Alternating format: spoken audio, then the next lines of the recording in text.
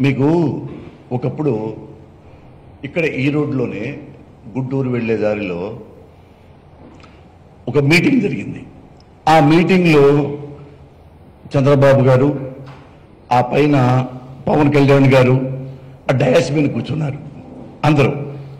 అక్కడే ఎదురు కుర్చీల్లో జనాల్లో వీళ్ళు కూర్చున్నారు. హరికృష్ణ గారు వాళ్ళ అబ్బాయి.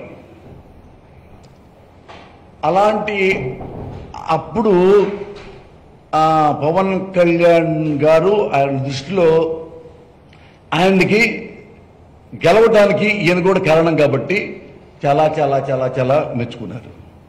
తర్వాత అదే పవన్ కళ్యాణ్ గారు వీళ్ళ అబ్బాయి అవినీతిపరుడు లోకేష్ ఇంకెంత సంపాదిస్తావయ్యా నువ్వు? పైనుండి మీ తాత ఆక్రోశిస్తున్నాడు అని కామెంట్స్ చేశారు.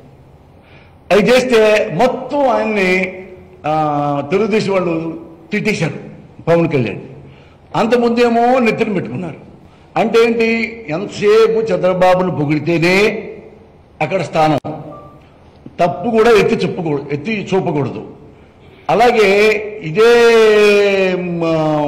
జూనియర్ ఎన్టీఆర్ని ఎలక్షన్స్ పంపిస్తే జూనియర్ ఎన్టీఆర్ గారికి జనం బాగా వచ్చారు. అప్పుడు వాళ్ళ తాతలాగా కాకి బట్టలు వేసుకుని అన్ని అటు అటు తిరిగారు. అంటే ఎవరికైతే ఎక్కువ ప్రజాదరణ ఉంటుందో ఎవడైతే మనకి థ్రెట్ అవుతాడో వాళ్ళని తీసి పక్కన పెట్టేస్తాడు చంద్రబాబు గారు. ఎవరైతే చెంచాలాగా ఉంటాడో ప్రజాదరణ ఉండదో వాడు ఉంచుకుంటాడు లేకపోతే అంతకుముందు ఈ లోకేష్ బాబుతో సహా చాలా ద్వేషపడేవాళ్ళు జూనియర్ ఎన్టీఆర్ అంటే.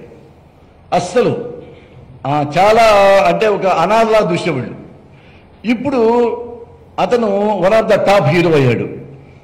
ఇప్పుడు అతను వస్తే జనాలు వస్తారు బాగా మాట్లాడతాడు వాళ్ళ తాతగారిలాగా.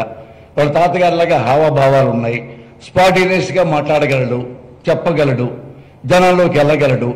అతను మనకి ఒక కూరలో కరేపాకులాగా ఉపయోగపడాలి అంతవరకే. మనం గెలవడానికి ఉపయోగపడాలి. మా తర్వాత వాడి దగ్గర ఉండకూడదు మన దగ్గర. అనే కాన్సెప్ట్లో అతను పక్కన పడేశాడు. ఇప్పుడు పార్టీ ఓడిపోతుంది అంటే అంతకుముందు వాళ్ళ అబ్బాయికి అడ్డు వస్తాడేమోనని వాళ్ళ అబ్బాయి సంగతి ఆయన తెలిసిపోయింది. ఇప్పుడు వీళ్ళందరూ వచ్చి అతన్ని మళ్ళా ఆ సీట్లో కూర్చోబెట్టి తెలుగుదేశం మీదే అని ఎన్టీఆర్ ఎందుకంటాడండి? నువ్వు ఎన్టీఆర్ ఎందుకు? ఎన్టీఆర్ అని చెప్పి ఆ సీటు తీసుకొని మళ్ళీ ఎన్టీఆర్ కుటుంబాన్ని బయటపడేసి వాళ్ళు ఎవరు వాళ్ళకు ఒక్కటి కూడా సమున్నత న్యాయం ఏమి లేకుండా నువ్వు చేసి మళ్ళీ ఇప్పుడు తెలుగుదేశం ఓడిపోగానే మళ్ళీ వాళ్ళందరూ ఎలా భుజం వస్తారు భుజం మోయాలంటే నువ్వు నిజంగా అప్పుడు ఎన్టీ రామారావు గారు చనిపోయినప్పుడు నువ్వు చాలా ఏ బాలకృష్ణ గారు ముఖ్యమంత్రి సీట్లో కూర్చోబెట్టి మీరు అధ్యక్షుడిగా ఉండి బాగా పరిపాలిస్తే అప్పుడు ప్రజల్లో ఏమైనా సానుభూతి ఉంటుంది ఏమైనా గొప్ప గౌరవం ఉంటుంది. ఇప్పుడు ఉంటుంది? ఎన్టీఆర్ ఎందుకు వస్తాడు? ఎన్టీఆర్ వీళ్ళు ఎన్టీఆర్ కావాలన్నా కానీ ఎన్టీఆర్ రారు కదా. గ్యారెంటీ నాకు తెలిసి అతనికి ఏమాత్రం కొంచెమన్నా రాజకీయ పరిజ్ఞానం వన్ పర్సెంట్ ఉన్నా తెలుగుదేశంలోకి రాడు. వన్ పర్సెంట్ ఉన్నా.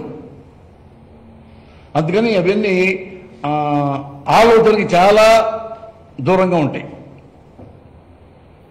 అందుకని అవి జరిగే పని కాదు నా అభిప్రాయం.